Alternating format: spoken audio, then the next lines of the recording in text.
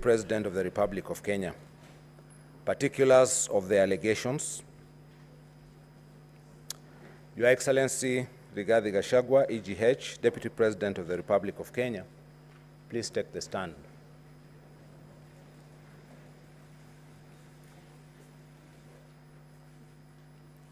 Your Excellency Rigathi Gachagua, EGH, Deputy President of the Republic of Kenya, the grounds for your proposed removal from office by impeachment, as received by the Senate from the National Assembly, are as follows.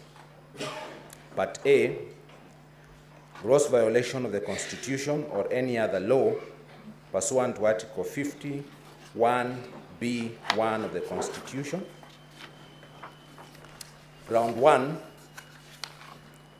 violation, gross violation of Articles 10, 2A, B, and C, 27, 4, 73, 1A, and 2B, 75, 1C, and 129, 2 of the Constitution, and Articles 147, 1, as read with Article 132, 131, 2C, and D of the Constitution. The preamble of the Constitution provides, among other things, that the people of Kenya adopted and enacted it, A, being proud of the ethnic, cultural, and religious diversity, and a determination to live in peace and unity as one indivisible sovereign nation, and B, recognizing the aspirations of all Kenyans for a government based on the essential values of human rights, equality, freedom, democracy, social justice, and the rule of law. The preamble of the Constitution is supplemented by Article 10, 2A, B, and C of the Constitution, which establishes the core national values and principles of governance that bind all state officers, including the Deputy President. These values and principles include patriotism, human dignity, national unity, equity, social justice, inclusiveness, non discrimination, equality, human rights, protection of the marginalized, democracy, and good governance. Moreover, Articles 73, 1A, and 2B of the Constitution establish responsibilities of leadership. They provide that the authority assigned to a state officer, such as the Deputy President, is a public trust to be exercised in a manner that is consistent with the purpose and objects of the Constitution, demonstrates respect for the people, brings honor to the nation and dignity to the office, and promotes public confidence in the integrity of the office. Also, Article 27.4 of the Constitution prohibits all forms of discrimination, including discrimination based on ethnic or social origin, conscience, belief, language, and birth. Further, Article 73 2b of the Constitution provides that decision making should be objective and impartial and should not be influenced by favoritism and improper motives. Furthermore, Article 75 1c of the Constitution provides that a state officer should behave, whether in public and official life, in private life, or in association with other persons, in a manner that avoids demeaning the office he holds. Therefore, as a matter of constitutional compliance, the Deputy President of the Republic of Kenya, who is the principal assistant to the President of the Republic, is required A. to promote the constitutional core values such as peace and unity of all Kenyans in the context of ethnic, cultural, and religious diversity, patriotism, national unity, rule of law, democracy, and participation of the people, equity, social justice, inclusiveness, equality, human rights, non discrimination, and protection of the marginalized and good governance. B. To respect and uphold representation of Kenya's multi ethnic and culturally diverse society through the promotion of equality and affording equal opportunities to all Kenyans in appointments to the public service and allocation of public resources. And C. To make, promote, and implement public policy decisions that do not discriminate against any Kenyan based on conscience, ethnic or social origin, language, or birth. However, on diverse dates throughout the last two years, His Excellency Rigathi Gachagua has persistently made utterances threatening to discriminate, exclude, and unlawfully deny sections of the people of Kenya and regions of the Republic of Kenya equal opportunities for public service appointments and allocation of public resources. Besides, the utterances are highly inflammatory and inciteful and significantly undermine national unity and the peaceful coexistence of Kenya's diverse communities. To illustrate, A, sometime in 2023, at a public forum in Kajiado County within the Republic of Kenya, His Excellency Rigathi Gachagua made highly inflammatory and inciteful public pronouncements to the effect that the government of Kenya is a company and that the allocation of government development projects and public sector jobs are based on shares determined by how the populace of the various ethnic communities voted in the 2022 general election. Specifically, he stated as follows, quote, a government is like a company. There is shareholding. Kuna wale who have invested a lot of shares, kuna wale wameweka kidogo, kuna wale wamekataa, lakini wote ni Wakenya. So ndio tukasema kama wewe umeenda kupanda mahindi, ama wacha nipeane example ya ng'ombe, kwa sababu niko Kajiado. Wewe uko na ng'ombe yako ya maziwa, hiyo ng'ombe imezaliwa ikiwa njao, umeichunga vizuri, umepatia majani, umenunulia dairy meal, umepatia chumvi, umepeleka kwa malisho, umepatia maji, imezaa, imeanza kukamuliwa. Wewe unatakiwa kwanza ukuwe mtu ya kwanza kukamua hiyo ng'ombe na kunywa maziwa. End of quote. His Excellency Rigathi Gachagua emphasized the divisive and insightful narrative embodied in the above utterances as follows. Quote, haiwezekani mtu ambaye alikuwa anakupigia kelele ukichunga hii ng'ombe na kusema hii ng'ombe ni ile ya kienyeji, hakuna haja ya kushughulika naye. Hii ng'ombe ni bure, haiwezi kutoa maziwa.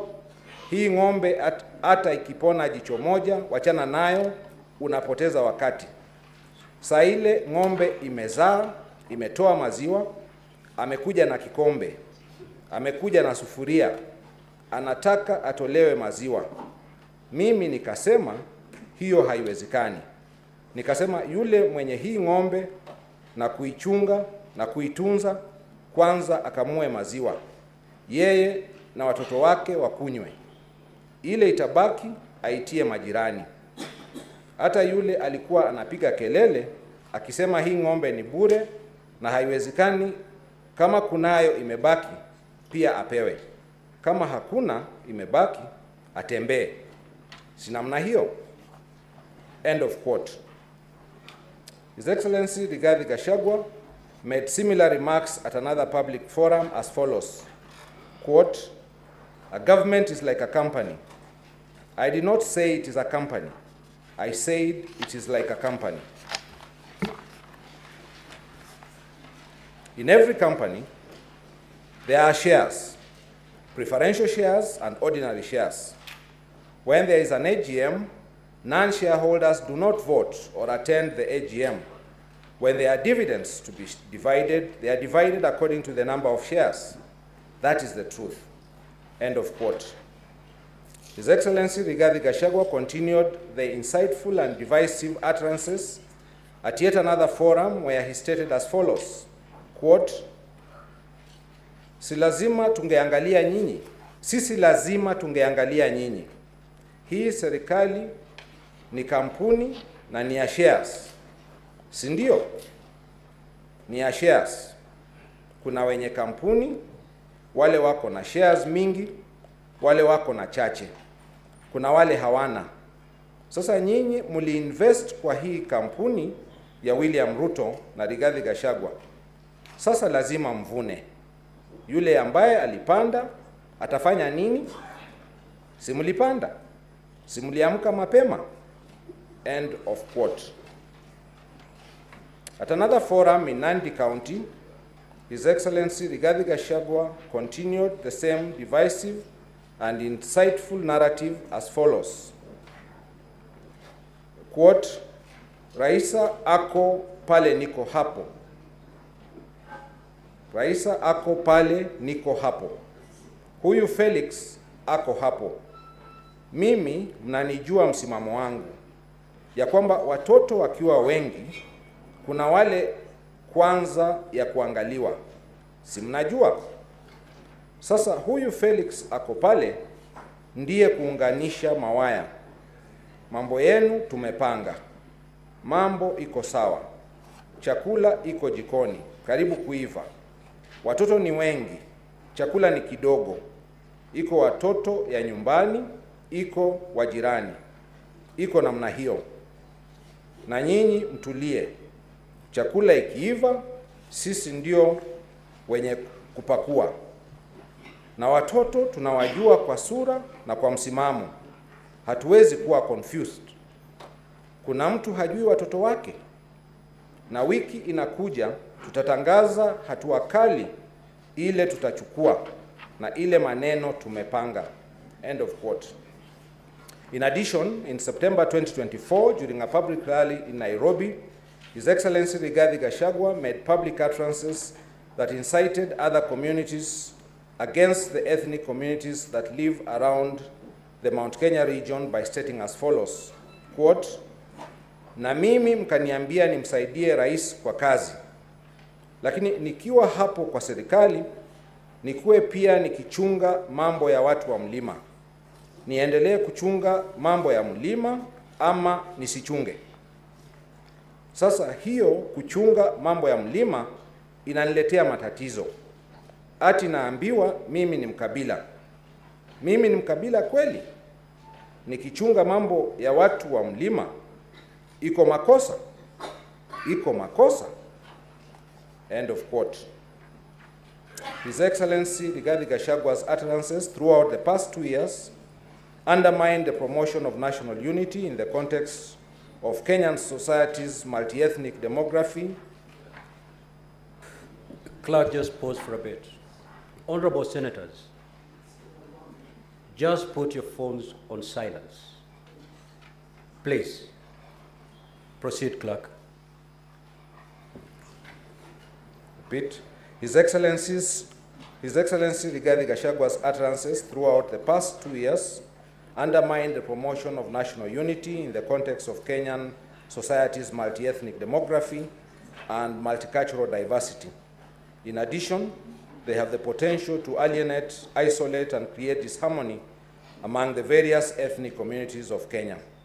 In summary, His Excellency Rigathi Gachagua's above-mentioned utterances over the last two years are impeachable offenses to the extent that they grossly violate Articles 10, 2A, B, and C, 27, 4, 73, 1A and 2B, 75, 1C, and 129, 2 of the Constitution, and Article 147, 1 as read with Article 131, 2C, and D of the Constitution. Specifically, His Excellency Rigathi Gachagua's divisive and inciteful public utterances over the last two years, A, are incompatible with the high calling and dignified status of the office of the Deputy President of the Republic of Kenya, B, can stir ethnic hatred and, prom- and promote ethnic balkanization of the Republic of Kenya, C, falsely alluded to an non-existent government policy to discriminate and marginalize the populace of the regions and tribes that did not vote for the current administration in the 2022 general elections. Your Excellency, Rigathi Gachagua, how do you plead to ground one, guilty or not guilty? Not guilty. Ground two, gross violation of Articles 147.1 and 152.1 of the Constitution. Article 147.1 of the Constitution provides that the Deputy President shall be the principal assistant of the President and shall deputize for the President in the execution of the President's functions. In addition, Article 152.1 of the Constitution states that the Deputy President is a member of the Cabinet. On various dates throughout the last two years, His Excellency Rigathi Gachagua undermined the President and the Cabinet and the effective discharge of the national government's executive mandate by making unilateral public statements that were inconsistent with policy positions collectively adopted by the government. To illustrate, A, on or around 30th April 2024, the Cabinet passed a resolution for the evacuation of people residing along the Nairobi River. B, shortly after that, His Excellency Rigathi Gachagua made a public statement opposing the Nairobi River riparian evacuation orders, which the Cabinet had sanctioned for public safety and climate change mitigation. His Excellency Rigathi Gachagua made contradictory public statements despite being a member of the cabinet and being assigned the function of superintending the Nairobi River riparian evacuation order. In addition, His Excellency Rigathi Gachagua has on several occasions throughout the last two years made public statements contradicting the President on critical matters of governance and the exercise of the President's functions as a symbol of national unity. To illustrate, in March 2023, at a public forum in the Nyanza region, the President said Kenya belongs to all, notwithstanding how people voted in the 2022 general elections, and that he would ensure the government does not discriminate against anyone. However, His Excellency Rigathi Gachagua, speaking after the President at another public forum, contradicted him by saying that Kenya is a company in which the provision of government services is based on shares. B. His Excellency Rigathi Gachagua has made numerous other utterances at public forums where he publicly restates the divisive narrative that Kenya is a company in which the rights of citizens are based on shares determined, determined by how various ethnic communities voted in the 2022 general elections. His Excellency Rigathi Gachagua's unilateral, divisive, and inciteful public statements are impeachable offenses to the extent that A. They undermine the effective discharge of the national government's executive mandate. B. They violate the doctrine of collective responsibility. C. They are equivalent to insubordination of the President, which is incompatible with his constitutional status as the principal assistant to the President of the Republic of Kenya. Your Excellency, Rigathi Gachagua, how do you plead to ground two, guilty or not guilty? Not guilty. Ground three, gross violation of Articles 6, 2, 10, 2A, 174, 186, 1, 189, 1, and the fourth schedule to the Constitution, that is, undermining devolution.